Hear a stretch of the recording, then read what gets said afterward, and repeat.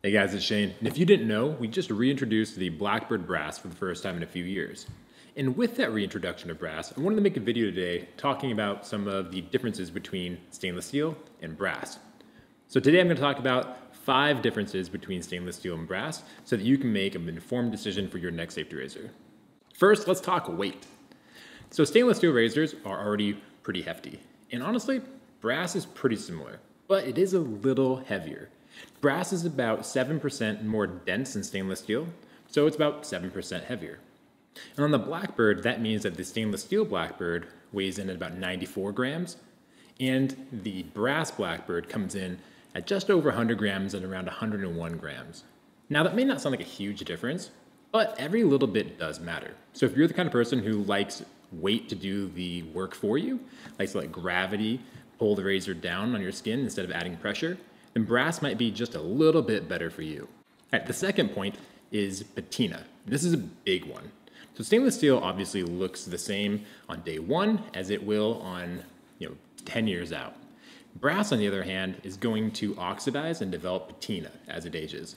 And this can be really appealing to some people and a huge turnoff to others. And that's because some people simply like the way patina looks. It'll darken sometimes evenly, that dark kind of bronzy brown color, but sometimes it can be a little splotchy. And sometimes if you let it go really far, it'll turn even a little bit green. Like if you think about um, like an old diving helmet that has a kind of like speckly green on it, that can happen as well. The pros here is that every razor is going to patina a little bit differently. So your razor will be completely unique and unlike any other razor that's out there, even other Blackbirds. But that also means that somebody else's patina might be a little better looking than yours.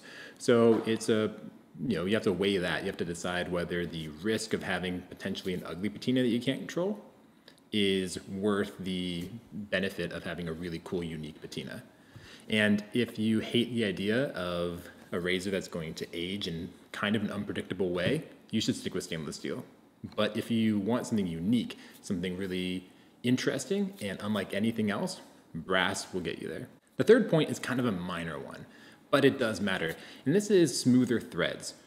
Brass is known for its self-lubricating properties, and that just means that when you have two brass pieces together, they just glide against each other much better than other materials. So when you assemble your razor, brass is gonna feel just a little bit better. Now this doesn't change the function at all. Stainless steel threads are certainly strong and actually stronger than brass, and uh, both materials perform equally well. And once the razor is assembled, it doesn't matter.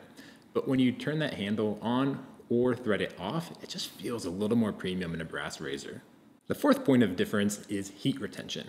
This is another minor one, but all these little differences add to your entire shaving experience. So a stainless steel razor doesn't really absorb heat that well. It doesn't retain that heat very well. So if you put a stainless steel razor in you know, a bowl of hot water and let it heat up, it'll cool off very quickly. So you're not gonna get that warm razor during the shave if that's something you're after.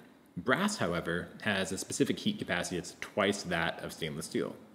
Basically, all that means is that it takes twice as much energy to change the temperature of brass as it does stainless steel. So it retains that heat better as well. So if you like to warm up your sink and drop your brass razor in it for a few minutes, it's actually gonna hold on to that heat for a pretty significant part of your shave. And so that adds a little bit to the luxuriousness of your shave, and it might be something you like. It may not be something you care about because it doesn't really impact the actual shaving results, but it might just make it feel a little better for you. And so if that sounds attractive to you, brass is the way to go. If you don't care, then it doesn't matter. Stainless steel or brass will work just fine. The fifth point of differentiation is price.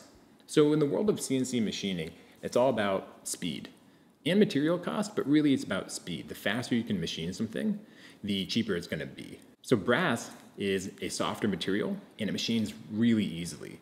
And that means that we can machine it more quickly and less expensively. The brass Blackbird sells at 169, while the stainless steel Blackbird sells at 200. And the difference in that price is all about the speed and ease of machining. All right, I hope all those points help you make an informed decision.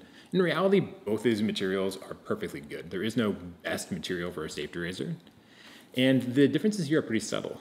So whether you like brass or stainless, it's really about aesthetics and feel and the personality of the razor and the personality of your shave. So it really comes down to a personal choice. I can't tell you whether one will work better for you or not. You have to decide. It's really going to come down for most people to that patina. Do you like the way brass looks, you know, a year or two down the road, or does it look dirty to you? That's for most people where it's going to come down to. The other points are all valid, but it's really about that patina, I think. But either way, brass or stainless steel, you're to get a hell of a Blackbird. So please comment below whether you like brass or stainless steel in your razors. Uh, we'd love to hear about it. And uh, we'll catch you in the next video. Thanks.